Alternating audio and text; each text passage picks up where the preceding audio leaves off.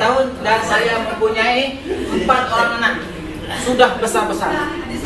Anak saya yang sulung dan yang kedua masih lagi bela- Masih lagi. masih lagi belajar di universiti dan anak ketiga dan kedua masih lagi di sekolah. Masih lagi. Masih lagi di sekolah. Untuk maklumat tuan-tuan. Untuk maklumat. Untuk maklumat tuan-tuan perempuan, hobi saya dan anak-anak saya, anak saya empat orang adalah gitaris. Semua lelaki.